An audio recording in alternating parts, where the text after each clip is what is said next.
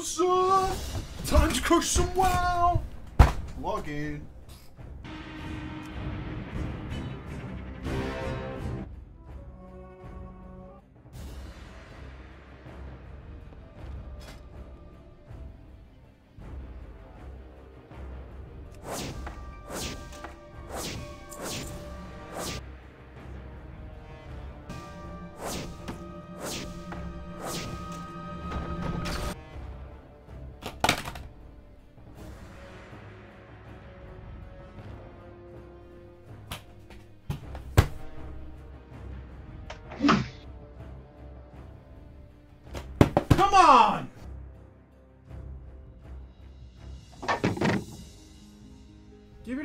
Making a TBC video. People will get pissed.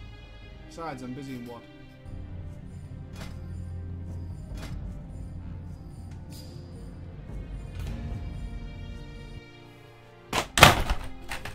Why? Why? Why do you have so many of these? Fine.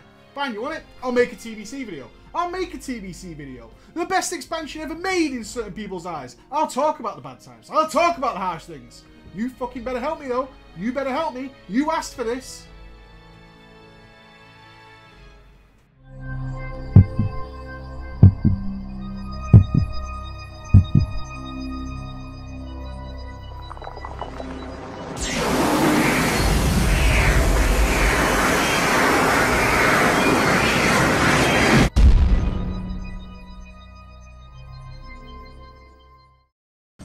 Even start? The game was in a turmoil, a WoW expansion. It had to be expected, but so much change. Taking my comfy vanilla chair and blowing it all to hell. The precursor to the Burning Crusade was an all-out war. Blizzard had just given every noob who could queue for a battleground high warlord weapons.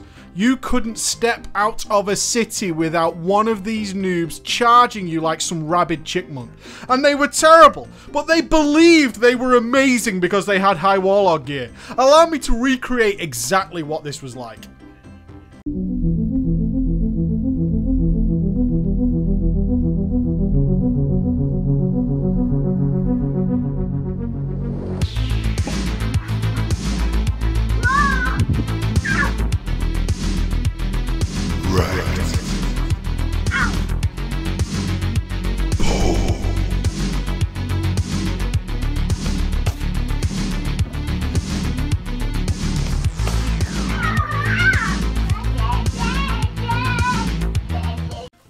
Blizzard would never do something like that again.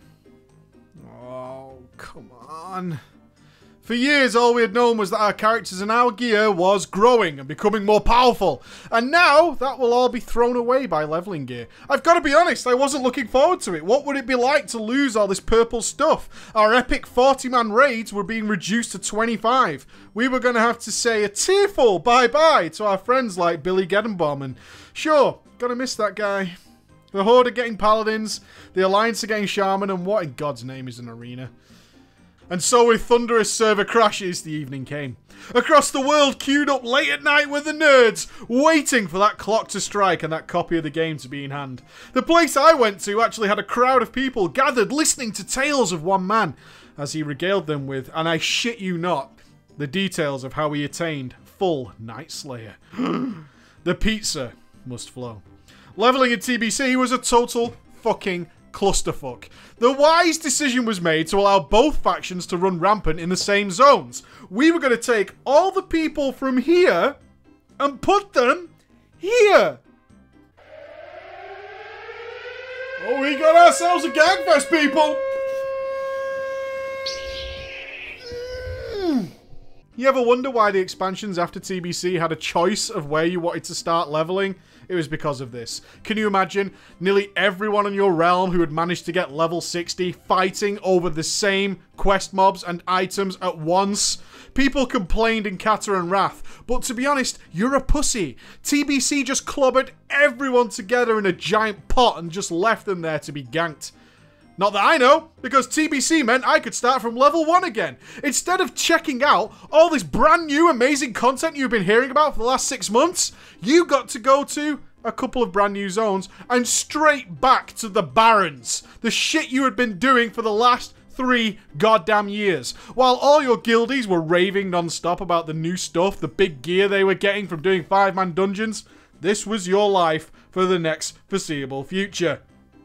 Again, Blizz learned from this though. In the future, DKs and monks got speed leveling, but in TBC, it was the old school classic grind. No buffs, no speed ups, for 58 levels before you could try out anything new. At least by that point, the tidal wave of ganking had actually settled down. Enough of the wine though. TBC introduced the most fantastic zones the game has ever seen. In my opinion, they are still superior to anything that has come since. I'd argue that only Icecrown and a couple of Kata zones could compete with what was to be our new home for the next 20 months. You would have to be a bit of a dick to hate on Auchindoun, Shadowmoon, Nagrand, Netherstorm, and, well, Blade's Edge, to be fair, fucking sucks. But onwards, let's not get it wrong. Perhaps the biggest quality of life change TBC was to bring for now and forevermore was quest hubs. Now, quests you get here are to be done here. Quests you get there are to be done there. Great. What a simple idea. In vanilla, it was like, hi, I'm randomly stood in the middle of fucking nowhere with a quest. Why don't you go six zones over, come back, and then find me in a bush over here, and now I'm a different guy entirely. Not only that, but now each zone had more than enough XP to actually gain the level to move to the next zone. It sounds stupid if you play now, but in TBC, this was the first time it was actually true. In vanilla, you could easily finish all the content and not be able to travel onwards. Mindless grinding was no longer a thing. TBC didn't even skimp on the frigging five mans. Every level came with at least one new piece of five man content, sometimes three Mists of Pandaria. They spread them out into a multitude of environments. One level you were skull fucking orcs in Hellfire, the next you're in the steamy underwater hot tubs and then over to the creepy Luigi's Mansion of Auchindoun, and then to the futuristic powers and science of Netherstorm. It was physically impossible to get bored leveling up in TBC. Everyone assumed you would rage and be emo about losing all your hard-fought perps, but honestly, once you were in it, nobody gave a shit. Blizzard also made their first attempt at a dungeon finder, the LFG system. A major feature of the Burning Crusade. Hilariously, it was universally hated and was nothing like what you know of today. It was more similar to the pre-made groups of Warlords of Draenor. But Wowpedia's article at the time described the LFG system like this. Real people do not like being matched with strangers. They want to see who is joining or who they are joining. I know, right? So we're capped. We've braved this new world and it's time to raid. Or arena. Honestly, the arena was an incredible addition to the game. All we had been used to was either long, drawn-out random BGs or totally unfair pre-mades. PvPers have been crying out for solid, organised, rated competition, and the arena would quench that thirst. In the arena, it will be gladiator versus gladiator, mano a mano. The only deciding factor in this true test of who is the best would be skill. Skill and gear. Skill, gear, and your team. And skill and gear and your ability to get around pillars.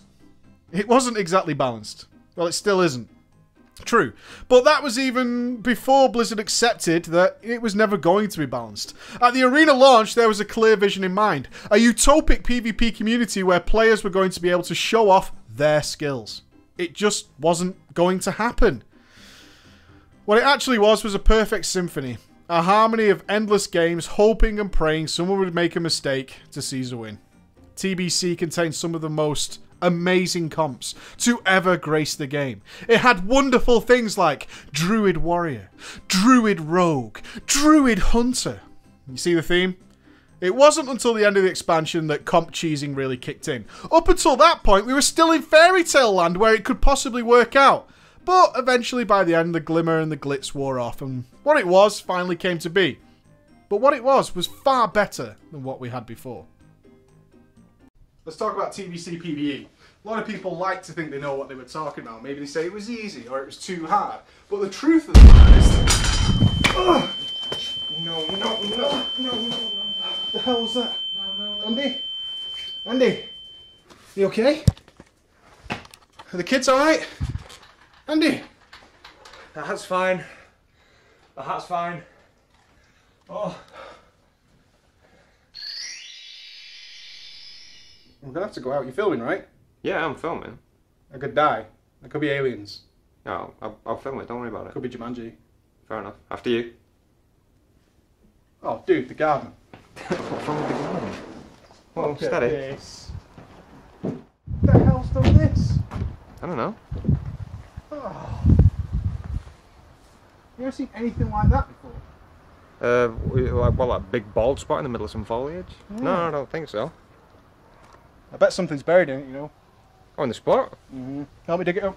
Yeah, let's go and get a spade. This has been sent by the gods. This is the TBC achievement chart. You remember this thing? No, not one bit. You did all these things, man.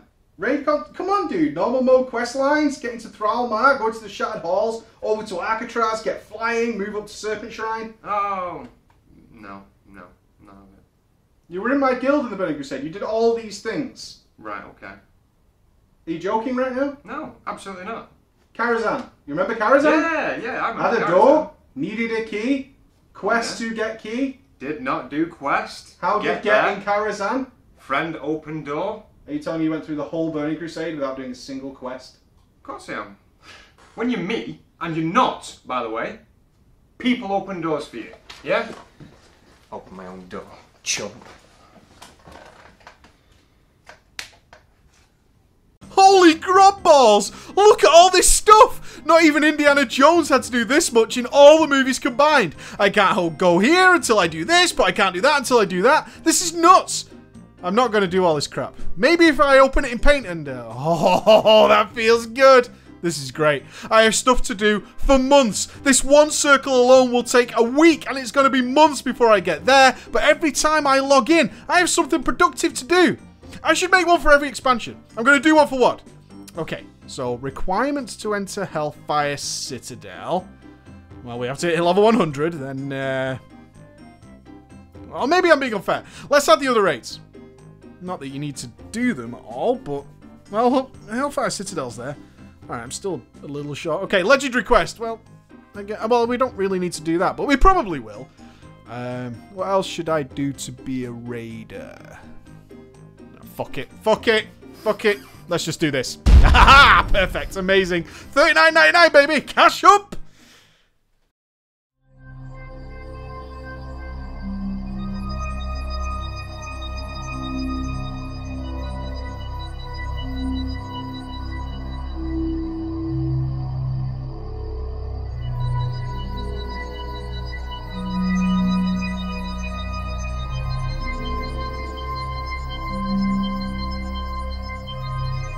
Karazhan.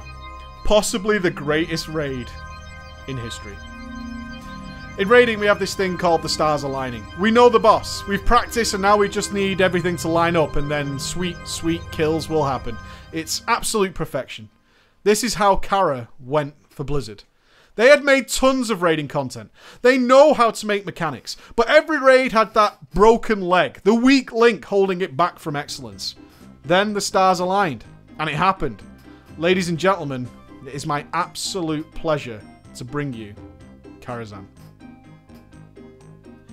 According to my map here, before we can raid, we gotta do us some five mans. I don't mean just for fun, we actually have to go do them for the key, which is fine, because TBC five mans were the shit. Unlike today, you couldn't go straight to heroics, not just because you didn't have the key, but in fact because heroics were designed to take your character and mince it into guano bowls. TBC gave a nice selection of level 70 normal modes to gear up for heroics and get an idea of what the bosses were about. Oh, those level 90 normal modes, they were tough, weren't they? Let me make this clear. Heroics were a new feature. They were foreshadowed with warnings of great difficulty, and that they were not designed for pugs. This was five man content that was for raiders. It offered rewards for raiders, such as the Karazhan key, such as the Tempest key. This wasn't a lie. How hard was hard? When one of your dungeon quests is a speed run that takes 50 minutes. When the Felguard trash needs to be enslaved instead of tanked because it will one shot anything it touches. When even the most basic of mid dungeon bosses feels like you're fighting in the depths of hell. Then you can get a grasp of how hard these were. 15 of these torturous skull-clad portals awaited you. Every rep completed, every heroic key gained, was the start of yet another adventure. And believe me, it was an adventure. It's sad to see people claim that they were easy, or think that time walking dungeons are even close to what they were like. As with any launch content, as gear from other sources becomes more accessible, the experience of doing these dungeons midway or towards the end of the Burning Crusade is very different to those who did them at the relevant time. They were tough, brutal, and incredibly rewarding. Too rewarding, in fact. Once you got your key and headed off to Karazhan for the first time, you were, of course, blown away by the ridiculously creative bosses, the incredible voice acting. But, but, there was one minor issue. Originally, a lot of the items in Karazhan were worse than the Dungeon Blues. Not every item, but items like Quagmirran's Eye were best in slot until later tier 5. Luckily the loot was buffed in August and Kara would be raided every single week until the end of the expansion. Prince Malchezaar's Infernals would troll millions and millions of... What the fuck is that? How many potions does he have? Despite the legacy, initial raiding in the Burning Crusade was disgusting. It was awful. Not only could you use elixirs and flasks at the same time, meaning each wipe would cost a raid thousands of gold or endless hours of herb farming, but most of the bosses and trash were completely broken or obscenely overpowered. Very few guilds in the world experienced it. But for those that did, oh boy. Gruul required invincibility pots for Shatter. Magtheridon's trash needed more coordination than most bosses. It could also respawn while you were fighting the big smurf. Serpentshrine Cavern Trash was so difficult that by the time you actually got to Hydross, it actually started to respawn. Morogrim Tidewalker was completely broken, Solarium was impossible, and that brings us on to Lady Vashj famously being killed by bugging out, allowing a Shadow Priest to Soulstone and kill her well after the wipe had occurred. Even after Method legitimately killed her, the fight was so bugged out they couldn't reach the boss for loot due to never-ending bat spawns. Should also quote here that the GM asked, how many times has this happened on the world first kill? It was pretty clear none of the raids were tested properly. But the fixes came, those bugs were eliminated, and what the majority got to experience was not only five superb raids, but also two of the best bosses I've ever faced. I still consider Kael'thas Sunstrider to be the number one all-time award-winning encounter ever devised after Phase 1 was fixed. Tier 5 though isn't why we bought this game. Kael'thas and Vashj can all suck a dick. There's someone else whose head shall roll.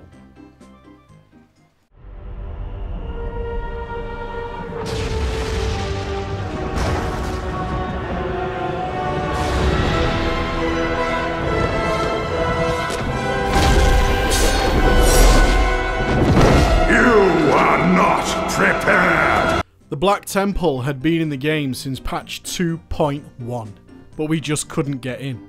Remember our map? This was it.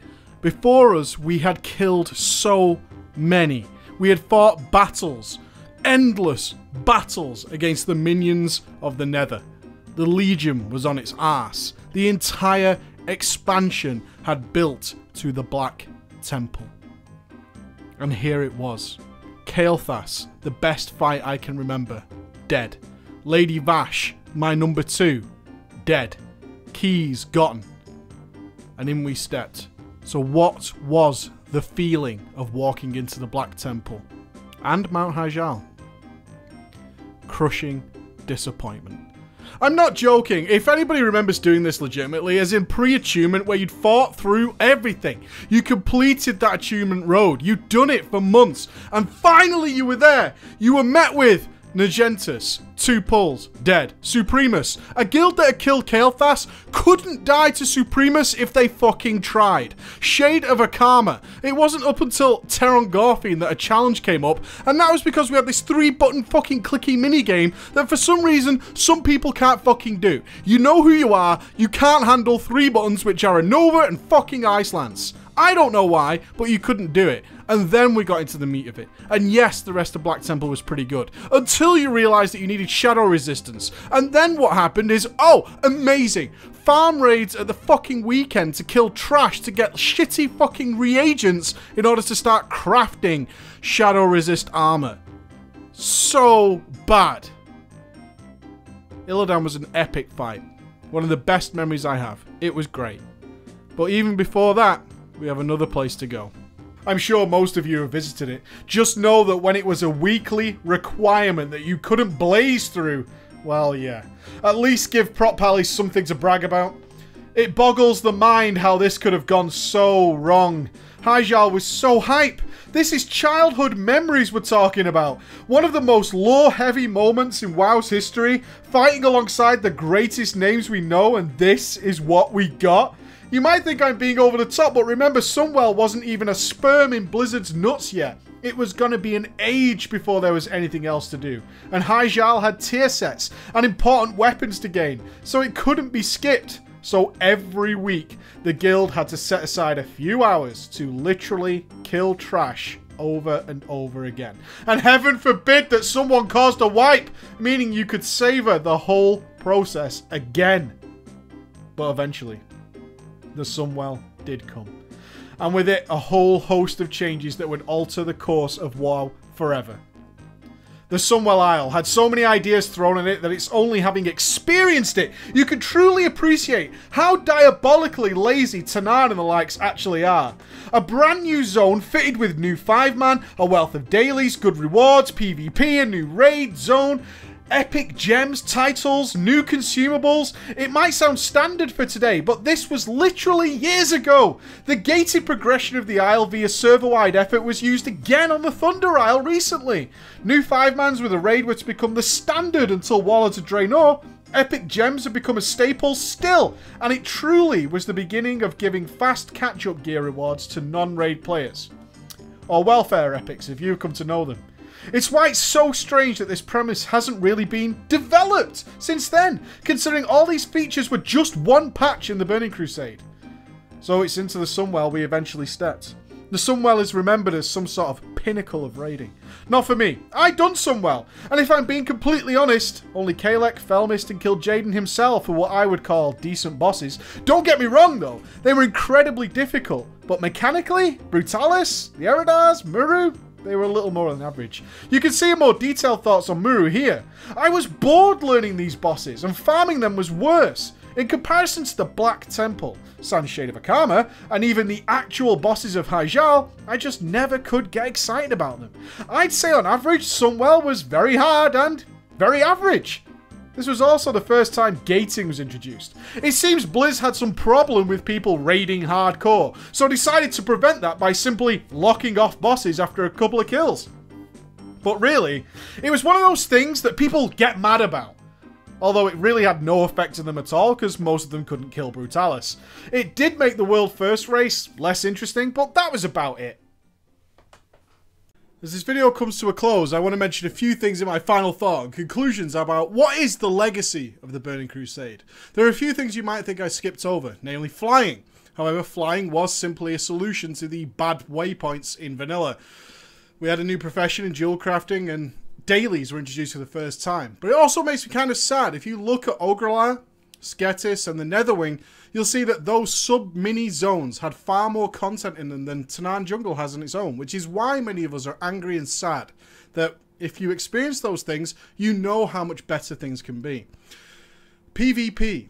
I skimmed over PvP because generally we were still learning our feet. Arena was so new, we just didn't know what to do with it. And then by the end, we kind of started to figure it out. But TBC was also the beginnings of PvP outdoor areas. They had them over in various areas like Hellfire and into the Swamp Zone as well. And those would eventually be the core, the foundation that delivered us Wintergrasp and Tol Barad and Ashran. All those things began in TBC. The real legacy of TBC is Blizzard was unafraid. Vanilla was limited, and it gave them so many ideas about where they could take the game. And TBC just threw everything everything at the game to see what would stick.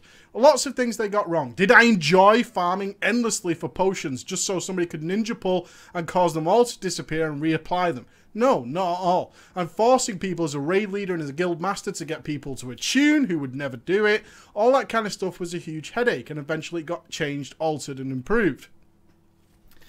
The TBC was my favourite ever expansion. It was amazing.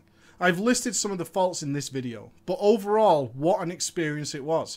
Every step of the way. You had so much to do that rolling alts wasn't really a thing. Sure, you could cap them and maybe do some Karazhan runs, but every single time you were back on your main with so much extra things to get on with. And that's what we love about World of Warcraft. That's what we hate is disappearing from the game is that there's so much focus on fast ways of gearing up other characters instead of being allowed to love our mains and have all these optional extra things to do. Hell, we even had optional reputations all over the map that simply serve little extra than something to do, let alone reputations in Scryers and Aldor once you completed that ridiculously long walk in Shattrath. None of these things individually require an entire section of the video to themselves, but they're not things that I've missed or skipped over.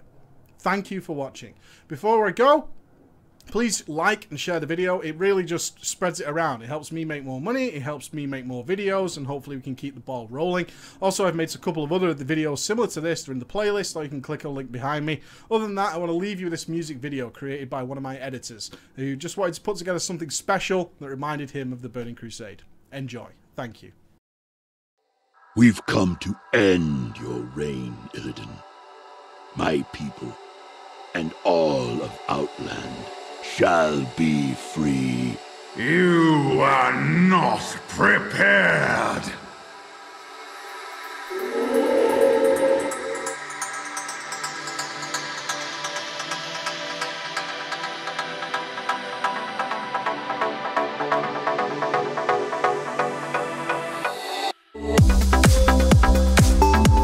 I'll carve the meat from your bones.